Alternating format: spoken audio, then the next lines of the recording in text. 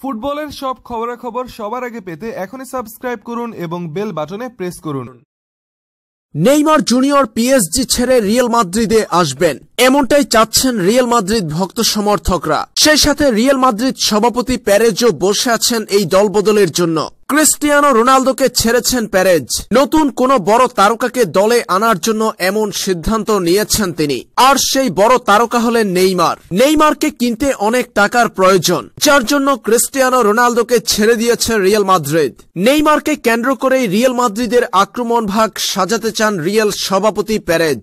এদিকে ইউরোপের বিভিন্ন গণমাধ্যমের মতে, এই মৌসুম শেষে পিএসজি ছাড়বেন নেইমার জুনিয়র। সেই খবর শুনে রিয়েলের মতো ম্যানিউ বসে আছে পাখির চোখ করে শুধু রিয়েল ম্যানিউ নয়, নেইমারকে চাই বিশ্বের বড় বড় ক্লাবগুলো।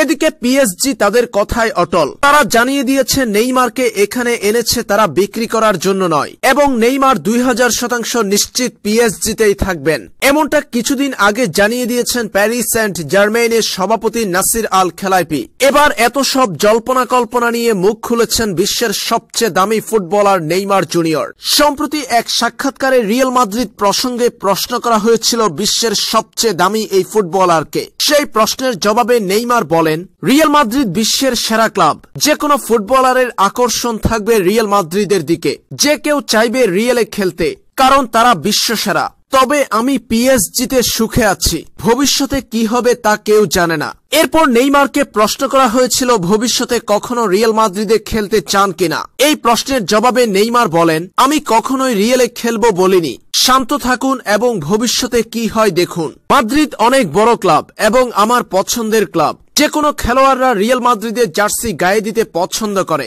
আমার ক্ষেত্রেও এর ব্যতিক্রম নয়। নেইমারের কথায় সুস্পষ্ট ইঙ্গিত পাওয়া যাচ্ছে পিএসজি ছেড়ে রিয়েল মাদ্রিদে যাওয়ার পরিকল্পনায় আছেন তিনি।